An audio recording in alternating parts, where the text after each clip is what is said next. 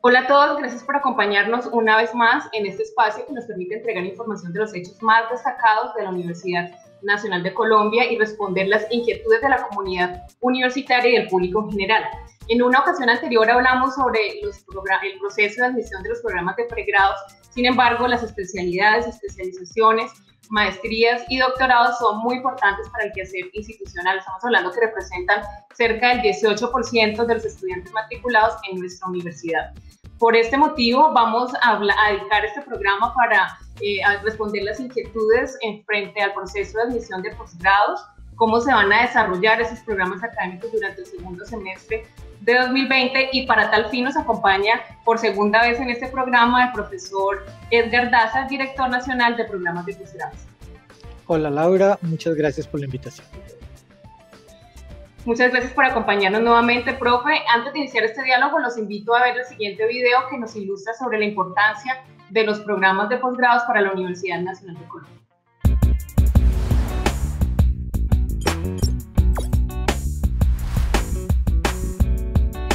En medio de la crisis del COVID-19, la Universidad Nacional de Colombia mantiene su amplia oferta de posgrados en sus distintas sedes en el país. Un total de 8.327 aspirantes se presentaron a los diversos programas de posgrado de la Universidad Nacional de Colombia en sus distintas sedes para el primer semestre de 2020. Las especialidades en salud cuentan con el mayor número de aspirantes, con 3.884, seguidas por las maestrías, con 2.357 las especializaciones con 1.703 y los doctorados con 383. El mayor número de candidatos se inscribió en la sede Bogotá, 6.935. En la sede Medellín se presentaron 829. En la sede Manizales, 485. En la sede Palmira, 56. 12 en la sede Caribe y 10 en la sede Amazonía. El amplio interés por vincularse con los programas de posgrado de la Universidad Nacional de Colombia confirma el reconocido prestigio y la credibilidad de la institución a nivel nacional e internacional.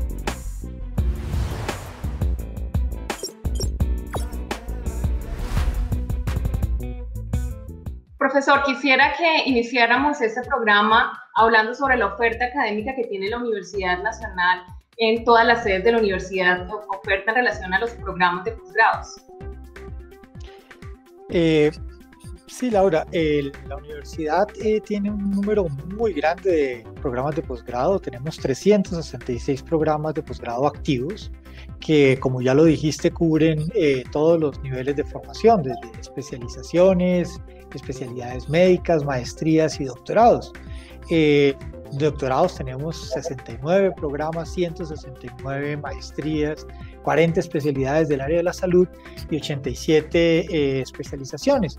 Y que además estas eh, cubren todas las sedes de la universidad, inclusive tenemos doctorados en la sede de Amazonía y en la sede Caribe. Por supuesto, en las sedes andinas hay muchos más programas. Profesor, cuéntenos cómo se está adelantando el proceso de admisión para este segundo semestre. ¿Cuántas de esos programas están ofertados y cuántos estudiantes están aspirando por esos cupos que ofrece la universidad? Eh, mira, el, proceso de admisión a posgrados prácticamente ya está terminando para el segundo semestre de 2020. Eh, tenemos cerca de 3.000 o más inscritos ya en estos programas. Eh, prácticamente la oferta de todos los años, no se ha modificado sustancialmente. Y ya el proceso está tan avanzado que tenemos cerca de mil personas ya admitidas y hay que tener en cuenta que en, este, en esta ocasión no está participando Medellín porque Medellín es, eh, va su calendario un poco retrasado, que suele ser más o menos la tercera parte de los estudiantes. Entonces, digamos que el proceso ya va avanzando. Ustedes saben, eh, procesos no es como el pregrado, una gran prueba masiva, sino que están eh, a cargo de los diferentes programas, de los comités asesores de cada programa. Entonces, eh, todo el mecanismo de entrevistas, hojas de vida, portafolios, en fin, los soportes que acompañan el proceso de admisión de un estudiante de posgrado están prácticamente terminando. Nosotros tenemos unas cuantas pruebas que digamos son generales, sobre todo la de inglés para el caso doctoral, que pues se hará momento en que se pueda. El estudiante va a ser admitido y va a quedar, le va a quedar pendiente esta, este requisito y de resto el proceso digamos que avanza prácticamente de manera normal. Es decir, profe, que cada facultad maneja su propio calendario o hay un calendario definido por facultades o por sedes. En general hay un calendario definido por sedes, aunque para algunos programas se aplican excepciones, pero digamos que cada sede está realizando su trabajo prácticamente al unísono y, y es así que ya estamos terminando prácticamente en todas. La, la, sede que más programas tiene todavía en proceso de admisión es Manizales, el resto de las sedes prácticamente ya terminaron. Profesor, hay un tema que nos han consultado mucho a través de las redes sociales y es el tema de las reservas de cupo. Con la situación que actualmente está viviendo el país, pues hay muchos estudiantes que están pensando en este tema. ¿Cómo la universidad piensa o, establece esta, esta, esta reserva de cupos para este semestre? ¿Quiénes pueden solicitar? A ver, yo creo que aquí hay que hacer una, una precisión que es importante. Tenemos dos figuras distintas. Una es el aspirante que ha sido admitido a la universidad, llamamos así, admitido a la universidad, que puede gestionar eh, la, el aplazamiento de inicio de sus estudios. Normalmente eh, ese aplazamiento podía hacerse hasta por dos periodos consecutivos.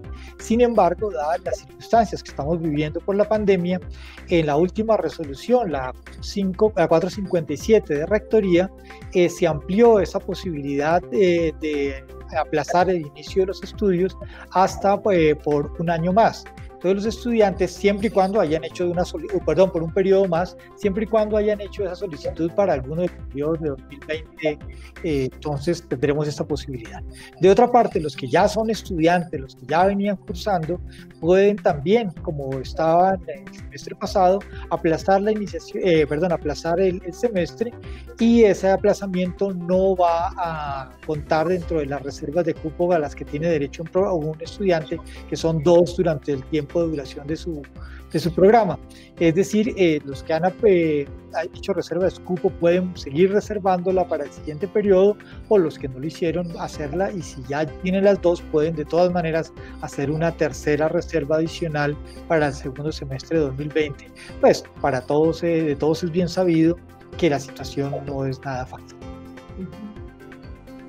Profesor, eh, semestralmente la universidad ofrece becas para los estudiantes eh, de posgrado, tanto de especialidades, especializaciones, maestrías, doctorados. Nos han preguntado mucho qué va a pasar con esas becas. ¿La universidad las va a sostener? Eh, sí, digamos, eh, hay como tres grandes becas, a pesar de que, y además hay una cantidad de, estímulos extraordinarios que los estudiantes de posgrado reciben. Hay que recordar que cerca del 37% de los estudiantes de la universidad reciben un descuento en sus derechos académicos en promedio por un 21% de lo que, de lo que valen eh, estos derechos. Entonces, ya propiamente en lo que llamaríamos becas que son las becas de asistente docente y auxiliar docente. Estas becas eh, las vamos a continuar. Son las direcciones académicas de las sedes de Bogotá, Medellín y Manizales, que son las que más la utilizan, las van a seguir eh, eh, convocando. y los estudiantes que en algún momento dado, digamos, la han tenido, como siempre, tienen que volver a solicitar la renovación y esto funciona normalmente. La idea es que aún en estos periodos de pandemia, estos estudiantes apoyen en cursos de pregrado a los docentes y claro que se necesita su ayuda, entonces la universidad va a continuar dándoles. Eh, la otra beca general que ofrece la universidad es la de la beca correspondiente a los estudiantes que obtuvieron grado de honor y esta mientras el estudiante preserve su calidad de estudiante seguirá recibiéndola sin necesidad, sin necesidad de ningún trámite extra. Solo las dos primeras hay que solicitar de nuevo semestre a semestre como siempre se ha venido haciendo eh, el otorgamiento de esta beca. Es decir, profe, que si eh, yo tenía una beca en el semestre anterior, ¿debo hacer una solicitud para, para este próximo semestre o esos procesos se generan automáticamente? Eh, no, toca volver a hacer la solicitud como ocurre normalmente. el procedimiento ahí no ha cambiado en ningún sentido. Eh, profesor, debido a la virtualidad que tenemos actualmente y, que vamos, y que sabemos que va a continuar durante el segundo semestre, ¿se tiene proyectada alguna clase de ayuda para ayudar a estudiantes de posgrados que lo requieran? Pues quisiéramos, pero es muy complejo. Eh, digamos, los escasos recursos con los que cuenta la universidad, pues se han enfocado para tratar de cubrir las necesidades de los más vulnerables, que en este caso son los estudiantes de pregrado. Un estudiante de posgrado, pues ya es un profesional, eh, es cierto que es un estudiante también, pero eh, no podemos dispersar los pocos recursos también para cubrir a los estudiantes de posgrado. De hecho, quisiera llamar la atención eh, sobre el hecho de que los estudios de posgrado de la Universidad Nacional son, eh, en términos generales, 30% más económicos que el resto de las universidades públicas y además eh, están subsidiados internamente por la universidad en cerca de un 70%, o sea que digamos, el apoyo se da necesariamente ya a los programas de una manera directa. Eh, profesor, hay algunos programas académicos que tienen una fuerte incidencia investigativa y que requieren el acceso, por ejemplo, a laboratorios, eh, prácticas de campo. ¿Qué, ¿Qué, ha definido la universidad con estos trabajos, esas prácticas académicas que van a tener estos programas que requieren este componente práctico?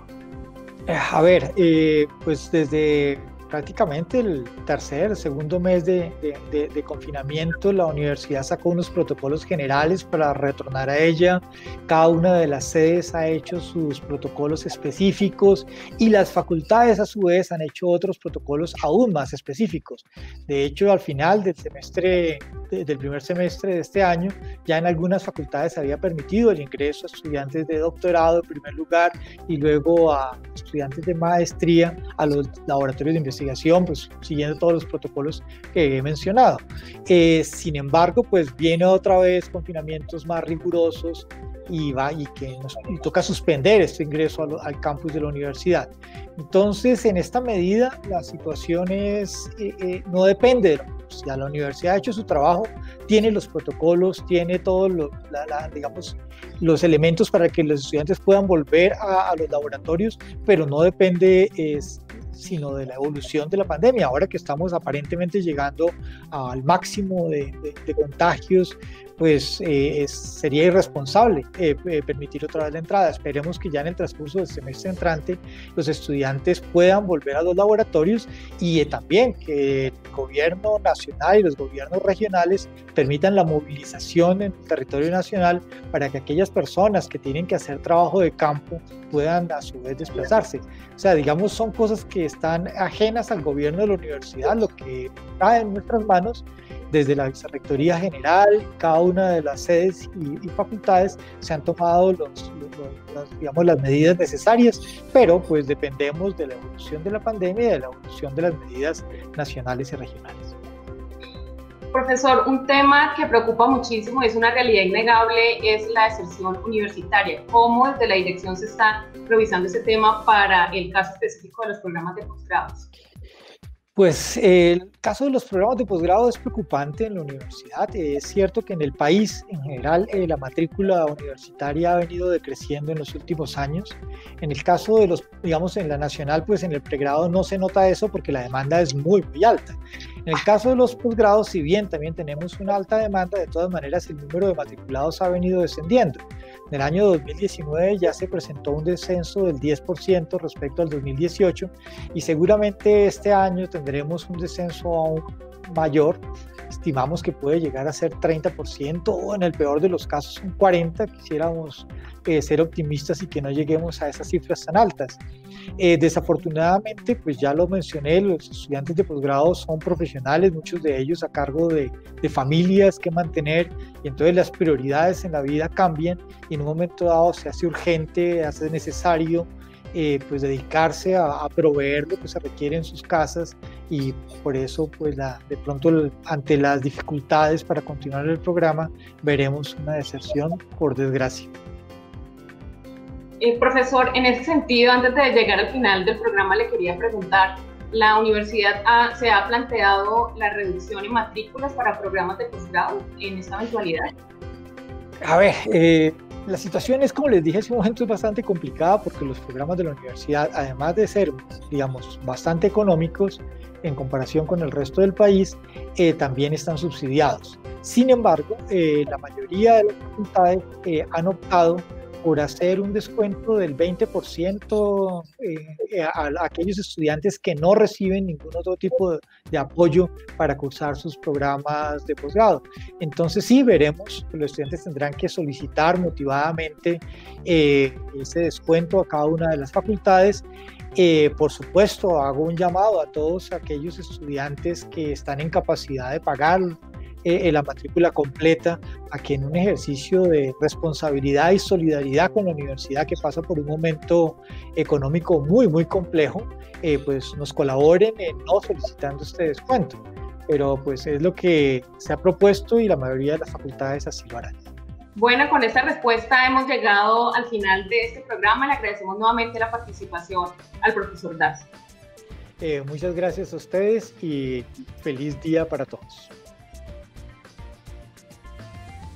Le agradecemos a toda la audiencia estar conectados con este programa y esperamos en otra oportunidad para estar al día con todo lo que sucede en la Universidad Nacional de Colombia.